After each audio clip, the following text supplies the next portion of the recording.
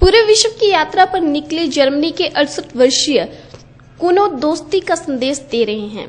पैदल ही यात्रा पर निकले कुनो भारत के कोने कोने में घूमने लगे हैं और इसी कड़ी में हिमाचल पहुँचे हैं। हमीरपुर से गुजरते हुए कुनो ने लोगों के साथ अपने अनुभवों को साझा किया तो हिमाचली संस्कृति और लोगों की भी जमकर तारीफ़ की। बता दें कि जर्मनी के रहने वाले कुनो इन दिनों भारत की यात्रा पर है। कुनो पैदल ही दुनिया नाप रहे हैं। अब तक वह लगभग 4000 किलोमीटर का सफ़र कर चुके हैं। वह 14 देशों में घूम चुके हैं। इन दिनों हिमाचल की यात्रा पर है। पेशे से कारपेंटर कुनो का अपना परिवार भी है। घर में पत्नी और दो बेटे हैं। अड़सठ साल के कुनो ने कहा कि इस उम्र में लोग घर में बैठकर रिटायर्ड ज़िंदगी जीने की चाह रखते हैं, लेकिन उन्हें घर में रिटायर्ड होकर बैठना पसंद नहीं है। उनकी तमन्ना पूरी दुनिया देखने की है। उन्होंने एक साइकिल रूपी वाहन तैयार किया है, जिसमें वह रोज़ाना का ज़रूरी सामान और टेंट आदि अपने साथ रखते हैं। रोज़ाना करीब 15 से 20 किलोमीटर तक का सफ़र करते हैं।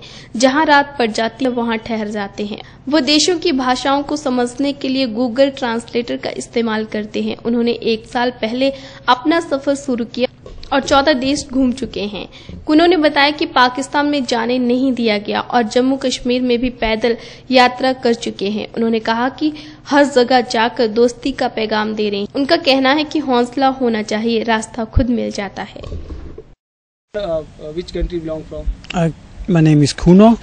I come from Germany and I started my travel 14 months ago in Germany. And I went to Iran. From Iran, I must take an aeroplane to India because I could not go to Pakistan. And from Mumbai, I went to south to Bangalore, to Sri Lanka, then Kanyakumari, then to, along the west coast to north to Leh, Ladakh, and then Kargil, Srinagar, Jammu. Next city is Shimla, and then I go to Nepal. Uh, what is purpose or motto of your visit? Uh, I only want to see the world before I die.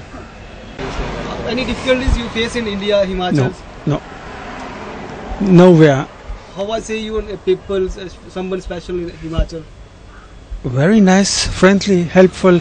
Not only in Himachal, all over India. Oh, everywhere the same.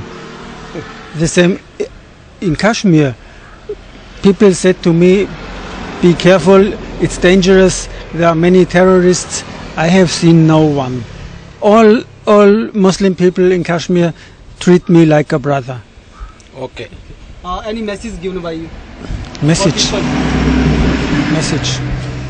Uh, I would say if you want, you can do nearly everything. If you don't want, you cannot.